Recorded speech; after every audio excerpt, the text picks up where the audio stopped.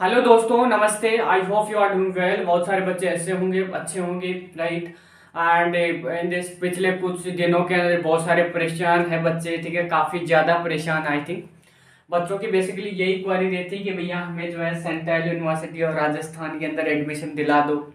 आखिरकार क्या admission process रहने वाला है पीजी के लिए? और किन किन बच्चों का एडमिशन हो जाएगा? एंड स्पेशली कुछ अगर अपन देखें पिछले कुछ महीनों का सीनियरियो तो काफ़ी सारे स्टूडेंट एंजाइटी के अंदर है। बहुत सारे इश्यूज़ आप लोगों को फेस करने पड़ रहे हैं, जो कि मैं जिस टाइम पे था, उस टाइम पे काफ़ी कम ऐसा इश्यू हुआ करता था।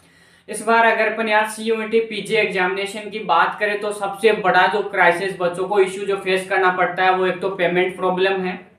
क्योंकि जैसे फॉर एग्ज़ाम्पल के लिए पहले हमसे सेंट्रल यूनिवर्सिटी की एग्ज़ाम के लिए हमसे फॉर्म भराया गया। उसके हमसे छह सौ, आठ सौ रुपये चार्ज कर लिए गए। आठ सौ रुपये नॉर्मली लिया था आई थिंक जनरल वाले बच्चों के लिए।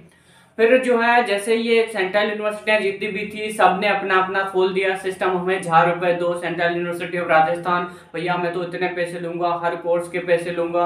अदर अदर यूनिवर्सिटियाँ अलग अलग चार्ज कर रही है। कोई दो सौ ले रहा है, कोई तीन सौ ले रहा है, कोई पाँच सौ ले रहा है, कोई फ्री भी कर रहा है राइट बहुत सारे ऐसे सेंट्रल यूनिवर्सिटीज थे जिन्होंने कोई चार्ज नहीं लिया। जो कि काफ़ी अच्छा था। ठीक है मतलब स्टूडेंट के हित में काम किया।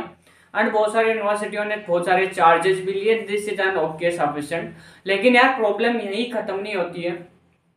पीजी के बहुत सारे ऐसे स्टूडेंट हैं जो बहुत ही ज़्यादा परेशान है। स्पेशली मुझे यह हँसते हुए दुख बताना पड़ रहा है।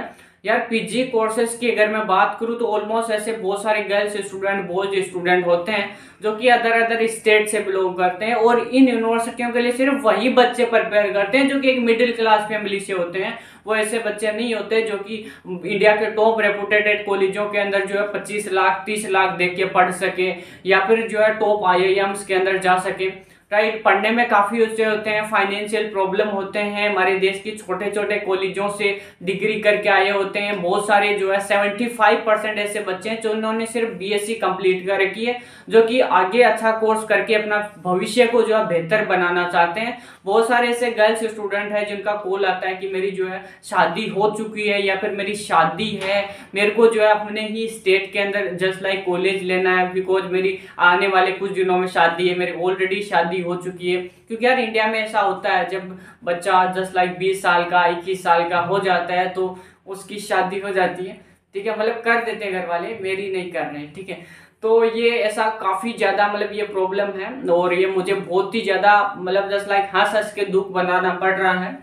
लेकिन कुछ दिनों से बहुत सारे बच्चे ऐसे परेशान हो रखे हैं कि सिलेक्शन उसका आ नहीं रहा है।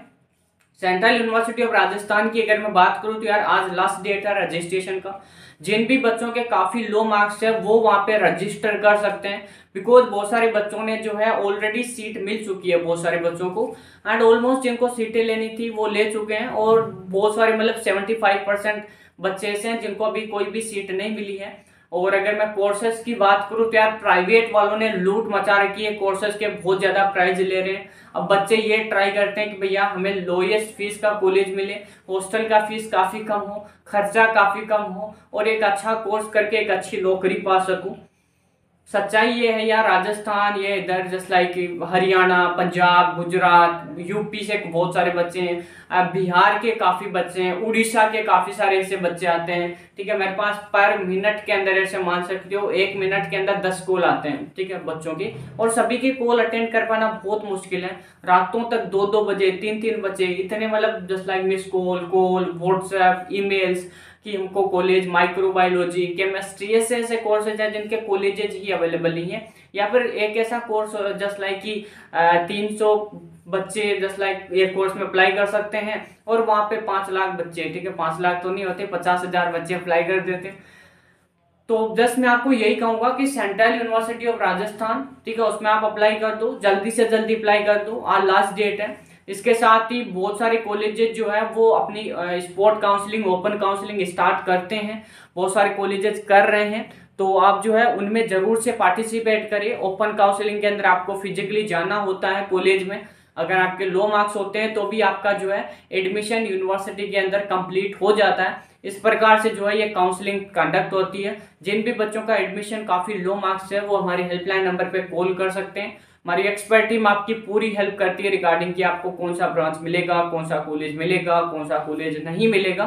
ठीक है guys thank you thank you so much और भी आप लोगों की कोई क्वारीज हो तो आप हमें बता सकते हैं।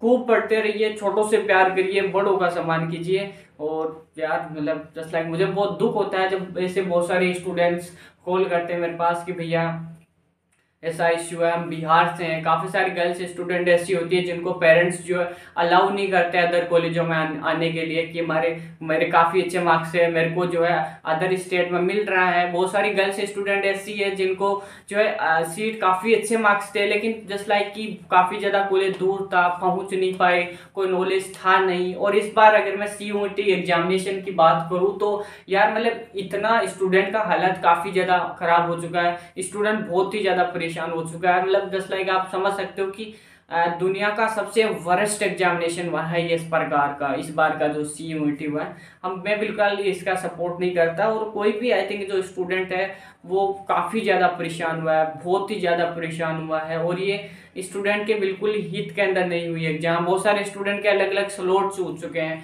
बहुत सारे स्टूडेंट ये बोल रहे हैं कि हम सेटिस्फाई ही नहीं है। हमको जो एग्ज़ाम लिया गया है ये बिल्कुल सेटिस्फाइड नहीं हमसे। हमने जो आंसर दिए थे, वो हमारी फॉर्म के अंदर ही नहीं आ रहे। आंसर गलत सेलेक्ट हो चुके हैं।